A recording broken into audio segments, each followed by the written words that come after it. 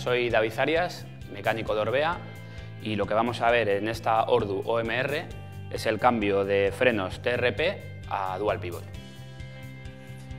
Bueno, el kit contiene eh, una guía para mecánico, otra para electrónico, un puente con los tornillos para poder poner el freno Dual Pivot y un trozo de funda para pasarla entera por el cuadro.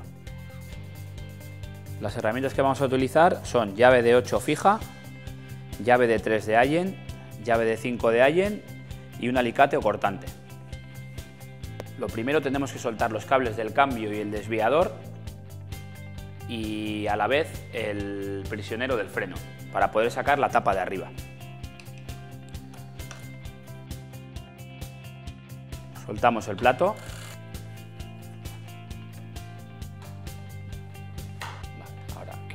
cortamos el cable y quitamos el freno para poder sustituir por el otro. Ahora quitamos los pivotes de freno.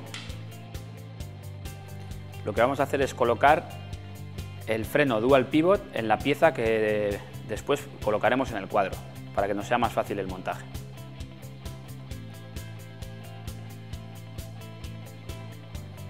Ahora con el bloque de freno y herradura montados ya lo ponemos en el cuadro. ahora soltaríamos la tapa.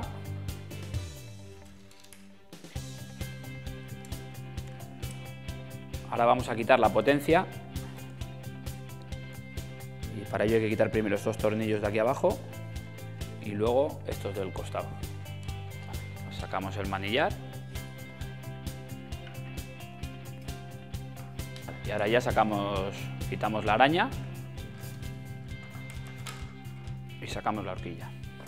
Bueno, ahora lo importante es aprovechar los liners que teníamos de antes para que nos hagan de guías. Y muy importante que no se escapen porque tienen que entrar por dentro del cuadro cada uno por su agujero.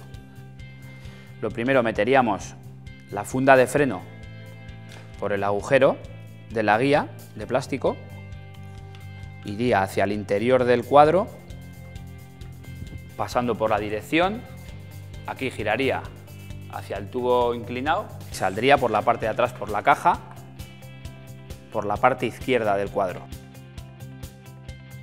ahora ya cortaríamos la funda a medida.